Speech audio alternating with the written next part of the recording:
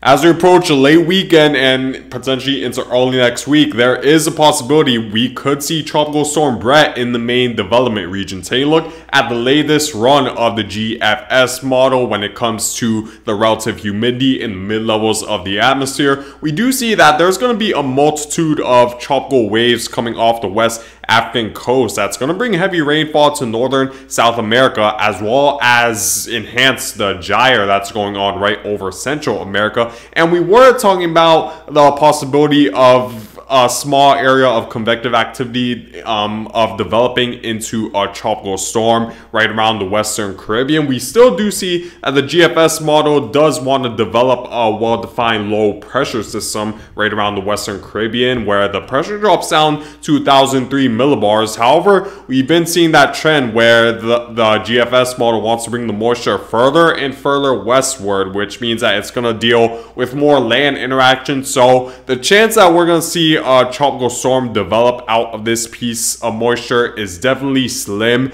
at this point unless we see a significant shift where the moisture would end up a little bit further eastward to the point where it will have more time to absorb the very warm Caribbean waters. That this certainly would increase the chance we would see tropical storm Bret in the Western Caribbean. However, it seems like the GFS model is leaning more to the European model's trend um, where the European model been certain for the most part that this area of moisture would move far west enough to mainly deal with too much land interaction to have a chance of developing into, um, into a tropical storm. And we exactly see that right here where we don't really see any sort of strong low pressure system right around the Western Caribbean. So we mainly just see enhanced rainfall right over Central America. However, if we were to shift our focus a little bit further eastward, we do see that there's a more well-defined tropical wave that's moving through the main development region where we do see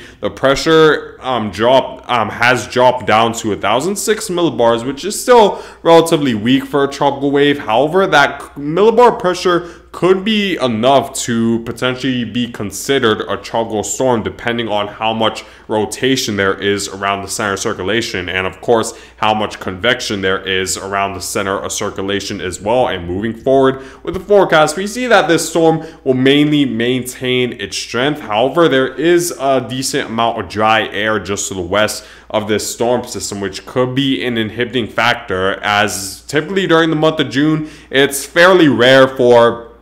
tropical cyclone development to occur right over the main development region. And a big reason for that is due to the fact that there's just um, a, a, much larger area of dry air right over the main development region during the month of June and July. We see a lot more Saharan dust move through the main development region, which which typically inhibits tropical cyclone development from occurring in this region. And however, it seems like the GFS model and even the European model has been hinting that this tropical wave could be one of those anomalies where there could be just enough moisture surrounding it for this to have a good chance of developing into a tropical storm. And moving forward with the forecast, we see that not it doesn't necessarily strengthen beyond the point at which it's located in the main development region. If anything, the GFS model does eventually expect it to weaken, even though there will be an enhanced amount of moisture as this moves to the Caribbean. A big reason for this is because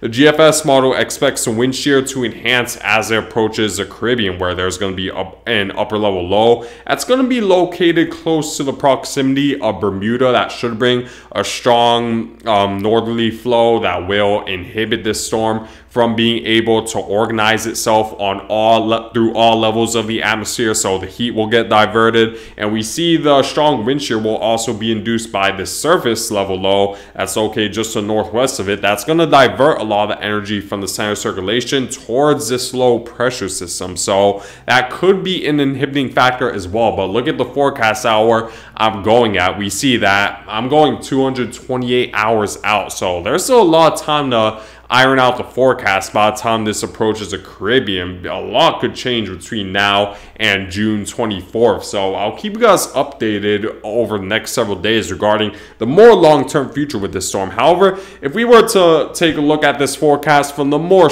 uh, from a more short-term perspective, where it's gonna, where it's definitely much easier to forecast, we see that um, be, before the five day mark, which is considered the time period where the forecast 70 is a lot more certain. We see a well defined tropical wave move just off the West African coast, moving over. The, uh, the sea surface temperatures are just warm enough for tropical cyclone development. The sea surface temperatures should hover around the low 80s, and we do see that there's a good amount of moisture surrounding it that should um, enhance this storm's possibility of developing into a tropical cyclone. But the dry air and the Saharan dust will continue to be an inhibiting factor with this storm, which will definitely subside the chance that we'll see this develop into a tropical storm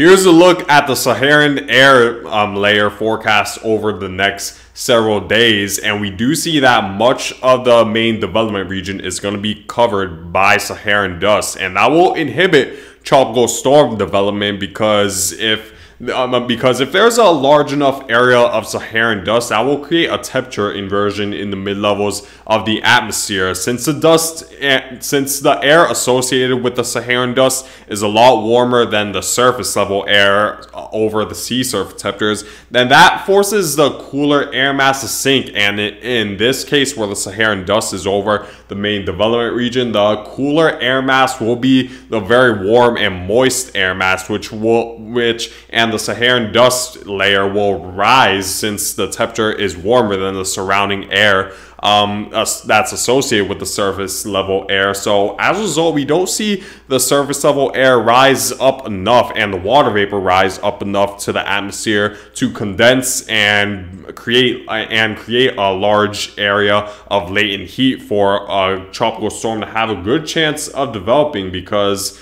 um, simply because it's a cooler air mass um, compared to the Saharan air layer. So that certainly will help in potentially inhibit this um, tropical wave from developing. However, this tropical wave still could at least develop just enough of a moisture bubble to where it could fend off the Saharan dust layer just enough to where it'll still have the possibility, but it's definitely going to be a lot more difficult than let's say if it were August or September where the Saharan air layer is nearly non-existent over the main development region. So this will be one of the inhibiting factors that we're going to need to pay close attention to as this tropical wave continues ahead further westward.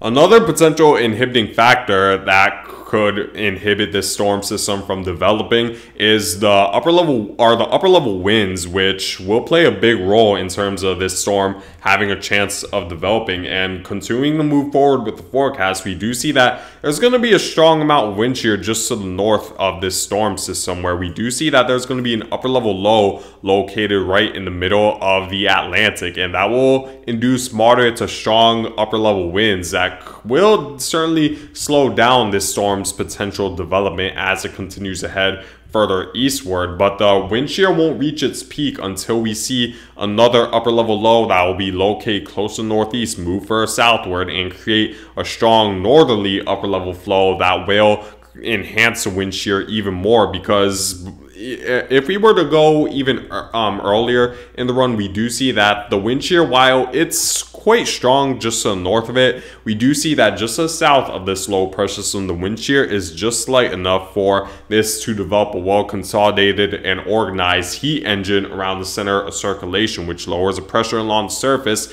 and all that energy spirals around without getting diverted from the strong upper level winds just to the north of it. However, it becomes a different story once this heads into the Caribbean because now we have the upper level winds moving tor directly towards the center of circulation, which certainly will divert a lot of that energy away from the storm and that will weaken the winds and of course weaken the possibility that this storm will maintain its strength as it moves further westward. Again, we're going to need to keep in mind if this forecast ma uh, maintains as this approach approaches the Caribbean. Still a lot of days to really get this forecast very certain for the Caribbean. We still could see the upper level low located in northeast shift it um shift a little bit over the next several days, which will